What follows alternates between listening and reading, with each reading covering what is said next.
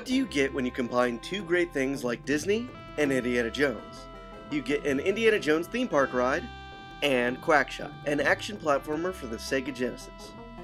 Quackshot was released in 1991 by Sega as part of a series of games based off of Walt Disney cartoon characters.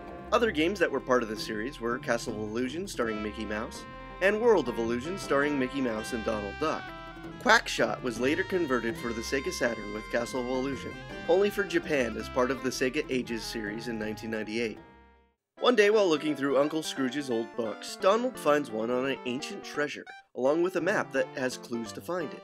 After finding the map, Donald exclaims joyously that he would be richer than Uncle Scrooge if he found this treasure. Because of this outburst, Pete's gang, who was spying on Scrooge, overhears the news, and now is set on course to get the treasure as well. Donald takes off in a plane, taking Huey, Dewey, and Louie along for the adventure.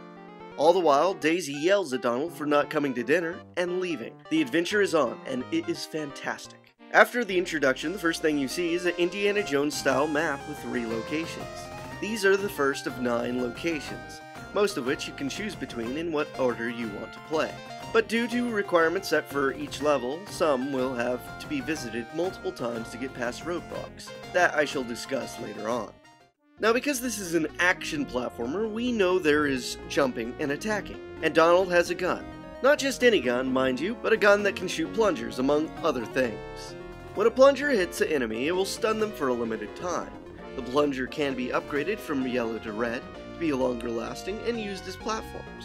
Then, it can be later upgraded to green, which adds the ability to hang off of birds. When you get the green plungers, the implementation of hanging on birds only is used on two levels, minutes away from each other. You must control the altitude of the bird while avoiding other birds and the objects that they drop, until you get to the end and the plunger drops you off. The gun can also shoot popcorn, which is a spread shot that uses 5 units per shot, with 95 units of ammo at max capacity and has the ability to get rid of enemies. And the final ammo is Bubblegum, which floats slowly forward, taking out certain walls, objects, and enemies, only allowing one shot on screen at a time, and has 50 units of ammo as its max capacity.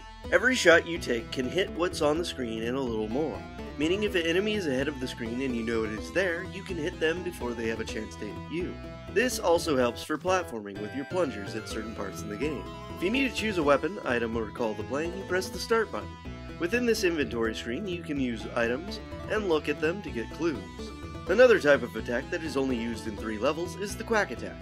In these three levels, Donald must collect five chili peppers to go into the Quack Attack, which will make Donald invincible for a short period of time, rampaging across the level, killing enemies as he touches them. When it comes to enemies, most can be handled with a plunger shot, but others might be able to block, take several hits, or require different weapons.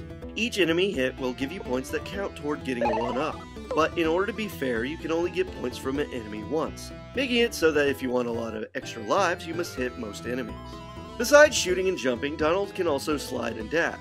But the thing to remember is, because Donald has a weapon, touching enemies who aren't stunned will hurt you. There are two minecart sections, as is standard of these types of games, and each are quite short. The main thing to remember here is that Donald does not have any momentum in his platforming.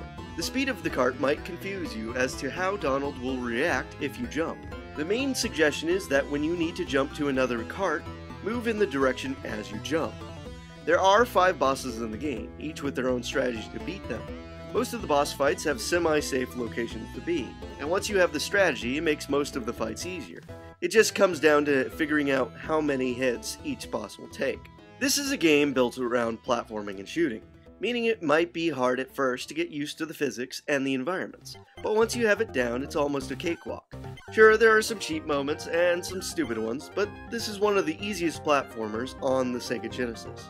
Partly because even if you lose all your lives, you get infinite continues, meaning you can start again with 3 lives on the main map and choose where you last left off.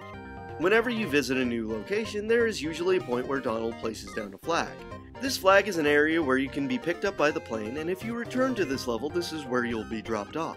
The main thing to remember when looking to take off is to look if there's a flashing flag at the bottom of the screen. If not, you can't use the plane. The takeoff is super smooth because when you press the start button, the call plane option is already selected and ready for one more button press to lift off. Having the flag as a checkpoint is useful, because there will be points in the game where you will get to the end of a level and not have the item required to continue. By placing the flag down, you can go to a different country and find the required item to go further in that level. For example, to get into a temple you need a key. To get further in Duckburg, you will need to upgrade your plunger. Learning what you need and in what order can make repeat playthroughs much quicker if wanted. Donald has 8 orbs of health. When losing all your health, assuming you have extra lives, it will start you off on the screen you were last on. In order to help you survive or continue on, there are several types of pickups throughout the game. Ammo, money, chili peppers, food, one-ups, and some key items. The ammo looks like corn and bubbles and will fill some of your ammo. The money gives you points, points which start to total up, and when they hit a certain threshold, you are given an extra life. The food comes in two varieties, ice cream and cooked chicken. The ice cream heals one point of health, and the chicken heals you fully. The extra life is a cowboy hat with 1-up spelled out on it, and the key items, as mentioned, will help you progress within the game either by being used or looked at. What is cool about this game is that it connects its world to the Disney one by having several characters from the cartoons. Goofy, Pete, Scrooge, Shere Khan, Huey, Dewey, Louie, and a few others can be found. Even Mickey has a slight appearance, if only on a blimp. The graphics for this game are great, with plenty of animations and detail. The water running down the rocks in Transylvania, the small bits of detail on everything, the way Donald starts to tap his foot while waiting for you, and plenty more. The effort put into it really shows, especially on the levels with several instances of parallax scrolling. The music in the game fits the locations they are used in. They are short and repeat, but only a few get old after listening to them for a while.